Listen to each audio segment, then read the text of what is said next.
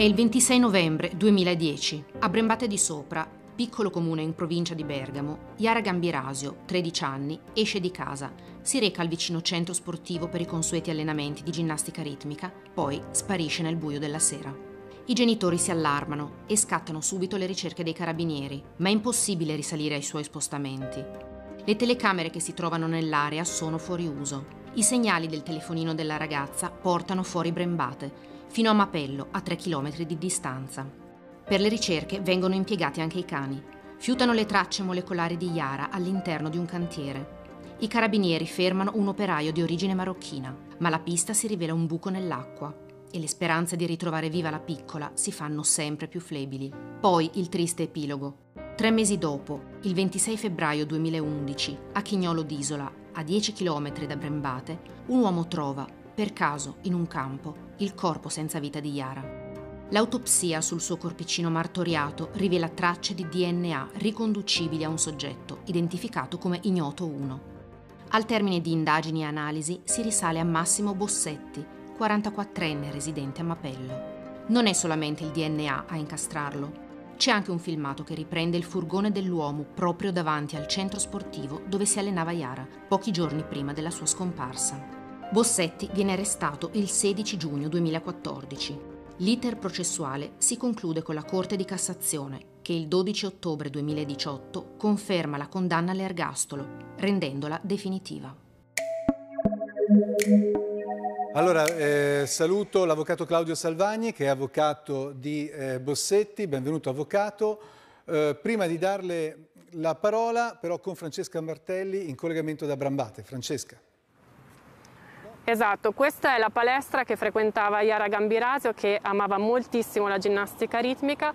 Secondo gli inquirenti il 26 novembre di dieci anni fa Iara è uscita da questa palestra, ha fatto qualche passo, ha girato alla mia sinistra perché? Perché qui in fondo, a circa 700 metri da qui, c'è la sua casa, casa in cui sappiamo purtroppo non essere mai eh, arrivata. Noi oggi siamo qui, lo dicevi anche tu prima, perché a dieci anni da quella terribile tragedia è nata un'associazione che si chiama La Passione di Iara, di cui fanno parte anche i suoi genitori, che sostiene proprio economicamente i ragazzi dai 13 anni, quindi l'età di Iara Gambirasio, in su nella loro formazione sportiva e artistica per quelle famiglie che hanno difficoltà economiche.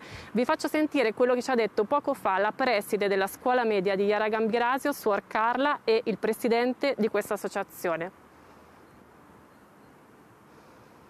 Quello che Iara ha lasciato in ricordo a tutti è la passione per la vita, per il vivere, per lo sport, per la danza, per eh, qualsiasi cosa, cioè la passione per la quotidianità. Che ricordo ha di quel periodo? Allora, è stato un periodo duro per tutti, duro per gli adulti, per determinate eh, situazioni, duro per i ragazzi.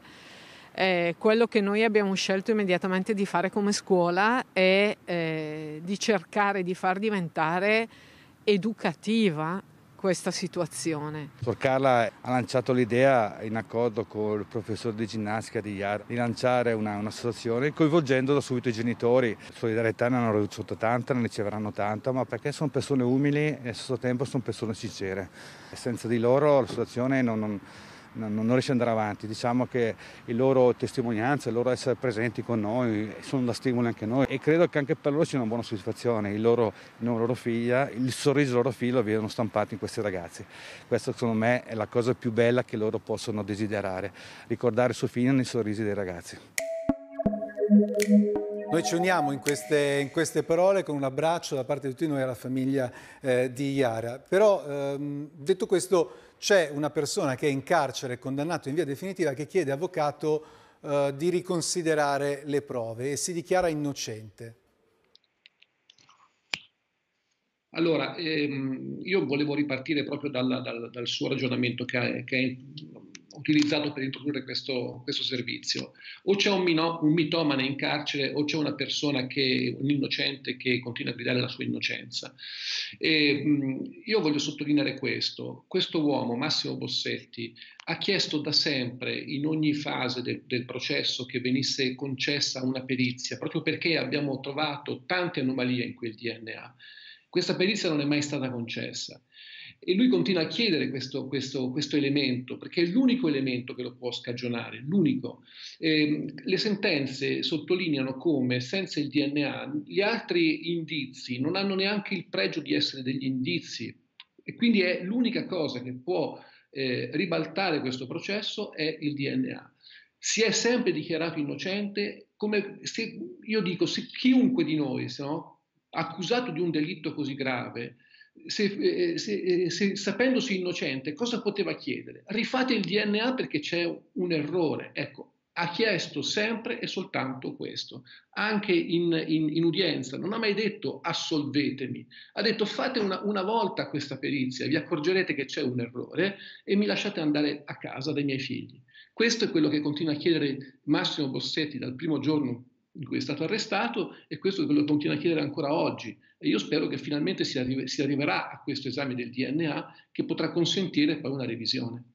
Sembra di capire dalle sue parole che lei crede fermamente nell'innocenza del suo cliente. Devo dire che gli ultimi delitti, da quello di Chiara Poggi a, a persino a, a, Erba, insomma, eh, i colpevoli, ormai colpevoli, non più presunti, perché condannati in via definitiva, si proclamano innocenti e chiedono la revisione del, del processo. E su questo, insomma, Posso aggiungere una, solo una cosa?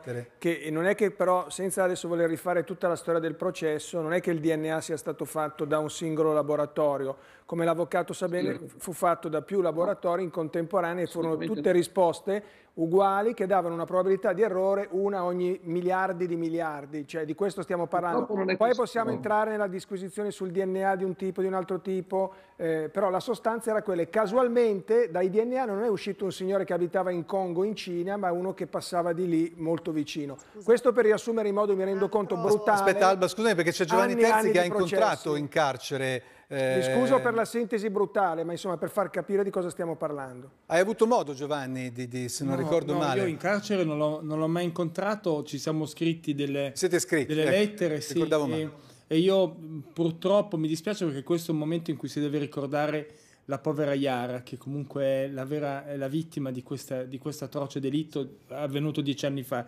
Eh, detto questo, io devo dire che eh, sono stati fatti più laboratori il DNA, ma poi dopo non è mai stato fatto dalla difesa. Io credo che sia giusto che una difesa abbia la possibilità di avere in mano quei, quel materiale che permetta di fare un riscontro anch'essa. Cioè mi sembra una roba abbastanza normale. Eh, Peraltro all'interno di un sistema molto vago dove addirittura San Raffaele diceva che c'erano dei reperti del DNA e la procura diceva di no. Quindi diciamo che un po' di qualche, qualche piccola cosa c'è, no? non, non, la metterei solo semplice, l'hanno fatta in tanti laboratori e quindi tutti hanno dato un risultato. No, non l'ha mai fatta la difesa.